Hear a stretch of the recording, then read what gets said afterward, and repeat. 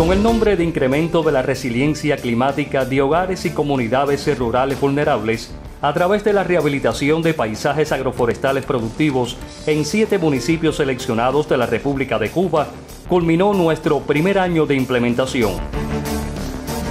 En correspondencia con esa premisa, se identificó el objetivo de incrementar la resiliencia al cambio climático a partir de cambios de paradigmas de producción vigentes, con la introducción de sistemas que facilitan el acceso y correcto uso de los recursos naturales, así como el incremento sostenible de la producción agrícola.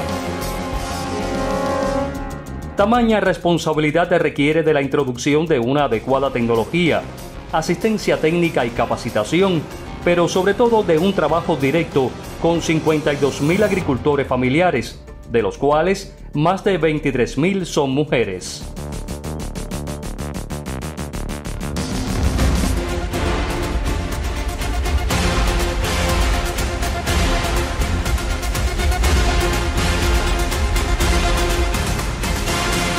Con la definición exacta de lo que queríamos, con el deseo de trabajar y con muchos sueños por cumplir, comenzamos el camino de implementación.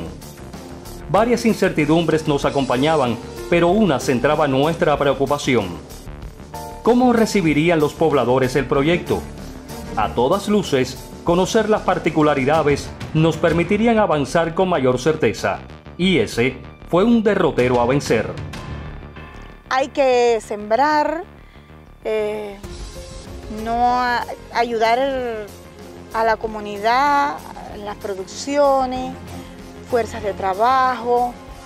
Tenemos que ser capaces nosotros mismos de, autoabastecernos, no esperar a que nos los traigan todos. Y yo pienso que si trabajamos, logramos salir adelante. Pero para eso hay que trabajar. Territorios afectados por el impacto del cambio climático con insostenibles prácticas agrícolas, producciones deprimidas y ecosistemas afectados.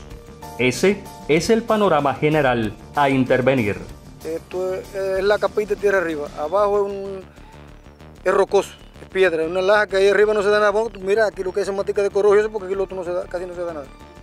Muy, muy mal suelo que da. Como tú puedes ver, bastante mal la tierra, que es una cosa rocosa enseguida la hierba está seca, esto que es semidesierto casi. La envergadura del trabajo exigía concentrarnos en dos vertientes. Por una parte, concretar alianzas con otras instituciones cuyos saberes y conocimientos científicos nos ayudarían a llevar a la práctica los objetivos. El intercambio con instituciones científicas especializadas en diversos temas formaron parte de las acciones de nuestro equipo de trabajo. Crear alianzas fue un objetivo estratégico.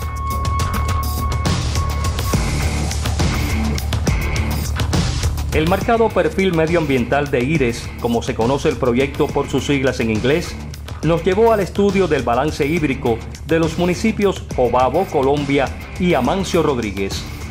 El manejo de este recurso será gestionado por el Grupo Agua, creado a propósito del tema. En ese sentido, sobrevendría otra inquietud ¿Cuáles eran las áreas de implementación? El clima aquí, como usted pudo observar, es un clima muy secano, más en este periodo de seca, donde el pasto a los animales eh, está, muy pobre. Tenemos que ayudar a los animales con los, pastos y forrajes verdes, que eso se refiere a la caña, el pingral, le hacemos una ayuda para que se pueda eh, desarrollar el animal, alimentarse en este periodo secano que hay. Con tecnología de punta, utilizando equipos voladores no tripulados, cartografía digital y sistemas de información geográficos, se contrastaron los estudios iniciales de la línea base territorial. Y aunque nuestro primer objetivo fue las tunas, las acciones alcanzaron la actualización del catastro en los siete municipios participantes. Para apoyar el trabajo de las bases productivas, fue necesario identificar las áreas y ubicar los siete viveros tecnificados que serán importados, los cree que tributarán al proyecto una vez iniciado el vivero y las 18 escuelas de campo para agricultores y productores.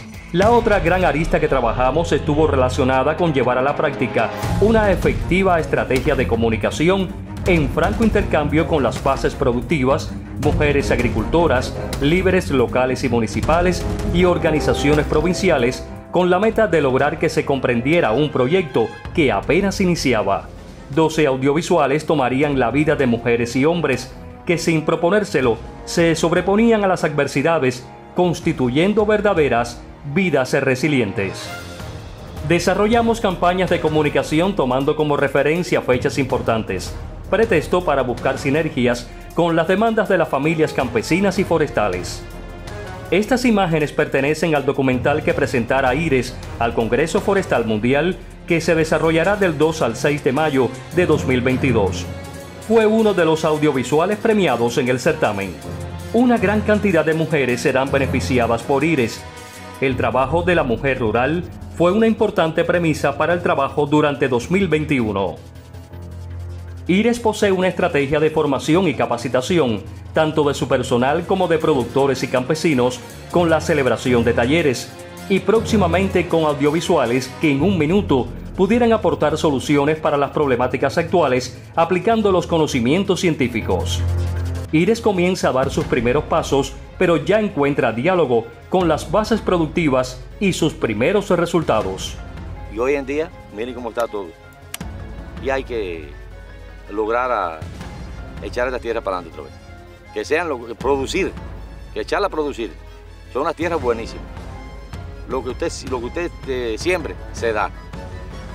Ay, pues yo sueño con tener una finca llena de árboles frutales, de árboles maderables, de cultivos varios, de hortalizas y tener una fuente de empleo grande y ayudar a todo el mundo, a la comunidad como tal.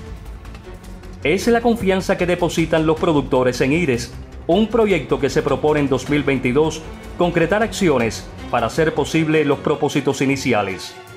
IRES cumplirá su objetivo a partir de la gestión del paisaje utilizando sistemas agroforestales, silvopastoriles, reforestación y regeneración natural asistida de bosques.